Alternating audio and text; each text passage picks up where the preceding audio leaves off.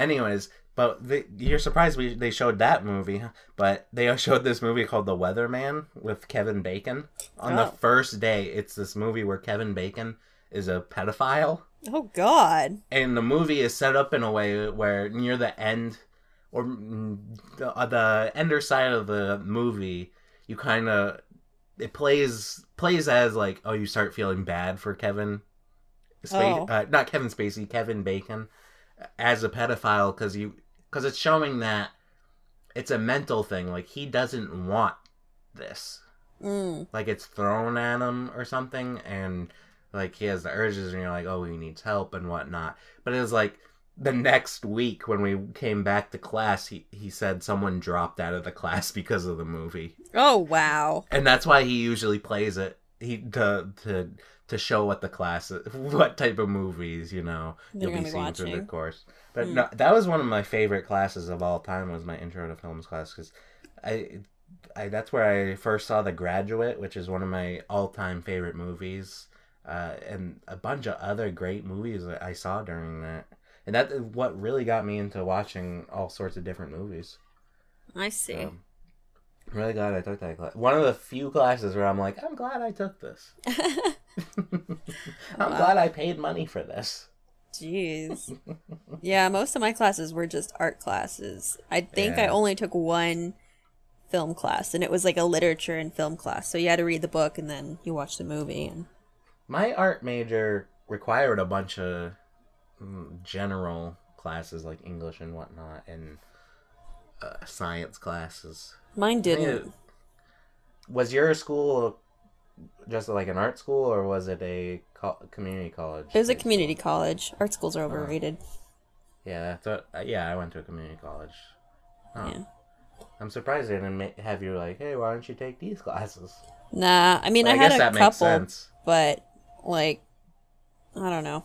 I tested out of a lot of stuff, so I kind of breezed through most of it, and mostly had to do a lot of art classes. But it was hard because when you have like to do like two paintings for two different classes, and then a Yeah. report for another class, and then you know a color study for the next class, it really fries your brains. Like Yeah. you really got to dish out as much creativity as you can. what I found interesting about when I started taking art classes is because I never thought I was like I could draw or do anything really that artistic. But when you're forced, not forced, but like you're sitting in a room and you have three hours of class time to, you know, draw something, and that's not only just one class, you'll come back the next class and continue working on that. hmm I pretty much realized I was like, I think anyone could do this. Not good, but to be able to just to be like, oh, I can't draw. That's impossible for me. I don't know if you're given three hours, you couldn't come up with something. yeah. I'm not I- saying it's gonna be good again, but to get a basic outline where it's like, okay, that's what you're going for. I don't know. I always thought that was interesting because I always had it in my mindset. It was like, drawing's very hard. it's something you're born with. My It's like, class huh. was like really cutthroat because I had a my drawing two class was really rough because the teacher is an actual artist and that's Uh. how he makes his living. He does teaching on the side. Ouch. And oh my god, like we had to do a piece every 2 weeks Mm-hmm. and it had to come with two reports of an artist that we chose to base our work on.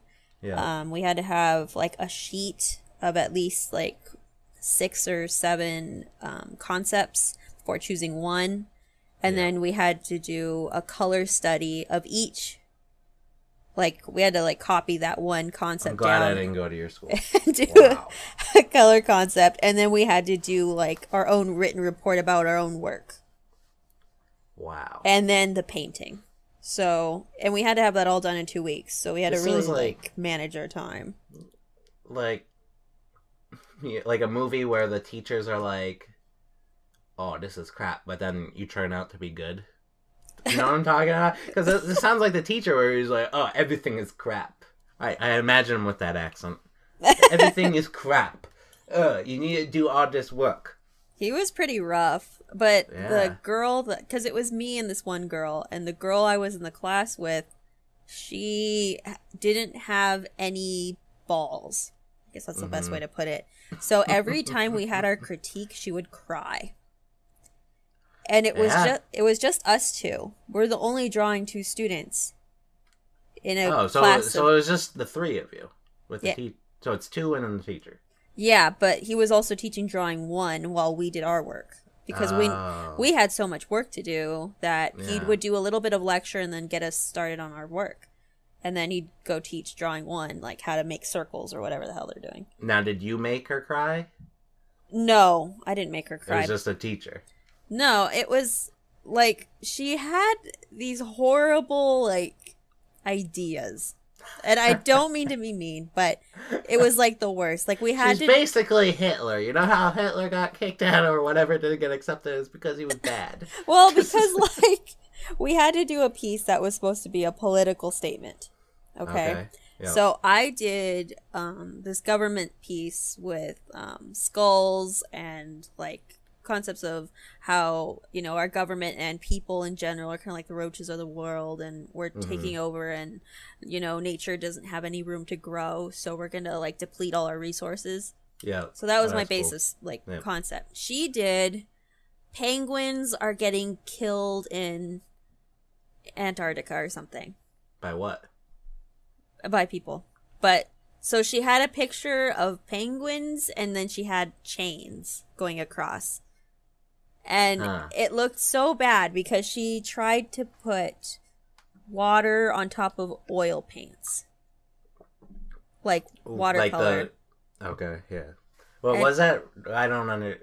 I thought you meant like she was trying to have a underwater look to the painting. No, she just tried to put watercolor on oil. What does that do? It smears like bad. It goes everywhere. You can't mix oil and water. Yeah. so it was just a horrible mess and it didn't come out right and she started crying because my piece obviously looked better not to toot my own horn but mine looked like you, professional You had cockroaches in it, and you know skulls. skulls and cities and and trees and whatever and she had penguins and a chain going mm-hmm. across Yours sounds more uh m- metaphoric, yeah and hers is just like blatant. yeah Like penguins are dying. I'll just put an X over them with Yeah. chains. poor like it was so bad oh you're my cat Yep. First guest on the podcast. my cat but If um, Quinn's even gonna edit this part in. I, I don't think so Yeah. Even though I think this conversation, maybe he can save it for. Well, I'll put it on YouTube, Yeah, put it on YouTube as an extra. That's what we'll do. Yeah. But um, yeah, it was just so bad. Like, I don't know. It was just so bad. I don't know. And what it- happened with the critique of that one? She cry yeah, because from the remarks, or just she? You think she was too hard on herself, or was it the fact that the teacher was? well, mean to her? the teacher's like, okay, well, this is a good premise for things, but this isn't like he's told her that she needed to think deeper because she chose, like, I don't know what artist she chose. I think she chose like Picasso or something, and it didn't look anything like the style of Picasso. There was Oh. nothing. Because when you choose an artist, you kind of want to try and reflect their style and mix Right. it with your own style. True. Yeah. Because you're study- studying uh, art master, so This you is a hardcore class. You're not only making painting, you gotta basis ba- uh, be influenced by another painter. Yeah, And Picasso isn't just like this guy's easy. You can just copy him. yeah, he has some complicated painting. Like he's uh he does cubism, doesn't he? yeah. He did cubism. He, he? does a like, lot of from stuff. the fourth dimension, right? yeah, That's what it is. And it's like you're drawn from another dimension. I know. It was just, uh, it was so bad. So he told her, he's like, well, you know, like he he breaks it to her so gently. Like he was such a good teacher, and you know, he's like, well, this isn't quite the artist's style.